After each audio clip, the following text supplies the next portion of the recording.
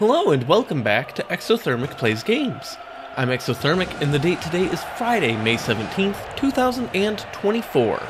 I've been doing a countdown of my favorite video games of all time through each day of the year, and coming in at number 229 is Harry Potter Quidditch World Cup.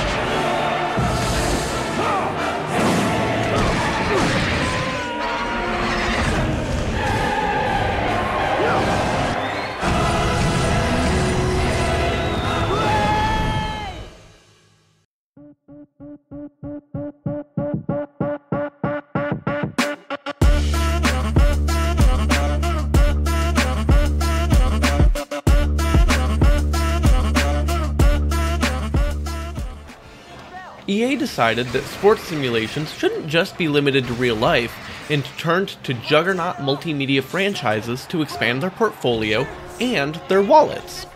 If you're unfamiliar with the rules for Quidditch, since I know not actually everyone has watched or read Harry Potter, here's a very brief rundown.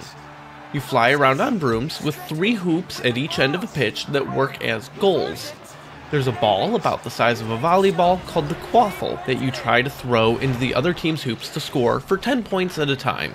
Then, there's a ball about the size of a softball called the bludger that gets batted around at people to knock them off their brooms and possibly cause terrible, terrible injuries.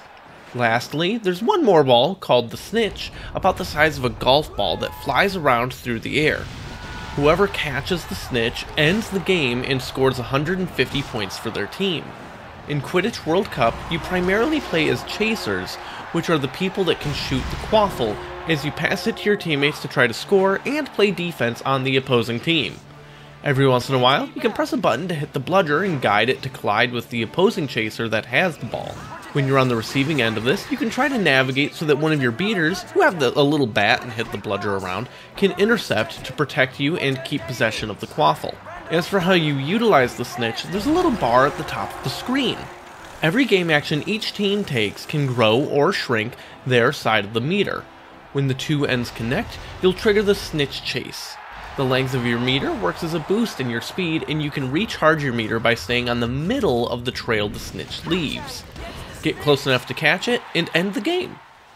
The game starts out at Hogwarts, and you pick one of the four houses to play through the school's tournament as an extended tutorial. In addition to the basics I talked about, you can do some special moves. Holding the shoulder buttons while passing will allow for combo passes.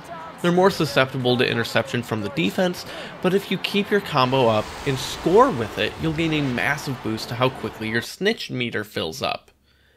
Assuming you're ahead or confident in your ability to catch the snitch, this is a great way to speed up the game.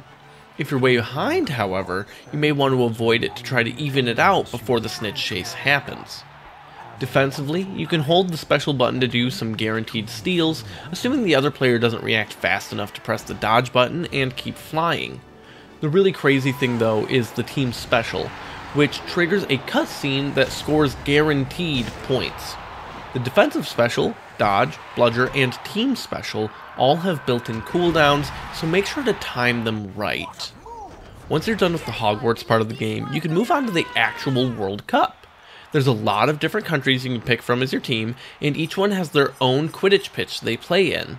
One of my favorite things about the game is actually the variety of places to play, as it's a great expansion of the world the game is set in. Most of the teams are available at the start, and you play through the season one game at a time, but there's various challenges you can complete to gain wizarding cards. In addition to being functionally an achievement system before those really existed, it's a way to unlock additional special moves, combo pass variety, and even more teams. Get enough and you'd even be able to play as the Bulgarian team featuring Star Seeker Viktor Krum.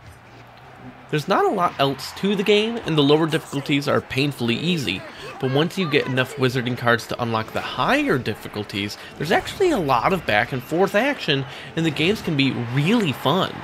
The completionist in me loved collecting all of the Wizarding cards growing up, and the 3D effects on them were pretty fun to look at. Join me tomorrow as I talk about the 228th game on my list, where the revolution lives on in the hearts of mice.